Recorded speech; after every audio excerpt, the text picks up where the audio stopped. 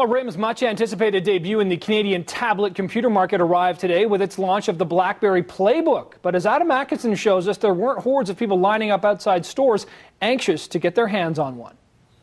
There it is, the BlackBerry Playbook, Research in Motion's introduction to the tablet computer market.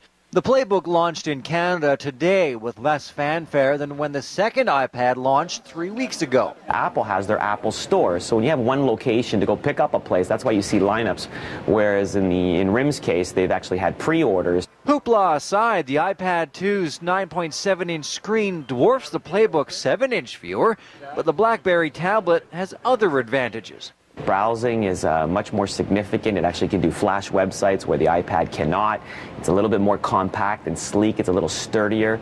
Uh, the actual processing power uh, is more significant. It's not as lethargic as the iPad. Apple and BlackBerry aren't the only players in the tablet market. Motorola has the Xoom and Samsung the Galaxy, and both are very capable tablet computers. The bottom line is this is good for the consumer because now what we have is a full suite of devices. Everything from the cheap, cheap, cheap $10 phone all the way up to the most sophisticated tablet. Price points are fairly similar. 16 gig playbook is $4.99. The iPad 2 is $20 more.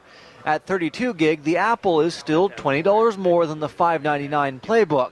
The 32 gig Xoom and Galaxy are in the same price range as well. If you're looking at getting a tablet, do your research, come in and ask some questions. Uh, we know what we're doing, and uh, you know we can make sure we get you in the right one that suits what you're looking for. The next versions of the iPad and Playbook are rumored to have cell phone or 4G technology.